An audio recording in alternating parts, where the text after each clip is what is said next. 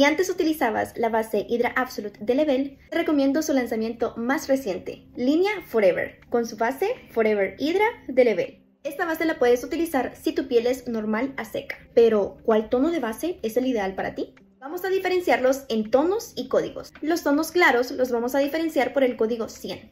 Los tonos medios claros los vamos a diferenciar por el código 200 y los tonos medios oscuros los vamos a diferenciar por el código 300. Es decir, que si tú con Hydra Absolute utilizabas tonos claros, es decir, Claire 1, 2 o 3, ahora con Forever Hydra utilizarás Cream 110, Latte 180 o Champagne 170. Si eras tonos medios claros y utilizabas Claire 4 o Medium 5, con Forever Hydra utilizarás Caramel 210, Beige 200, Almendra 230 o Avellana 270. Si eras tonos medios oscuros y utilizabas Medium 6 o Medium 7, podrás utilizar Cappuccino 310 o Cocoa 350.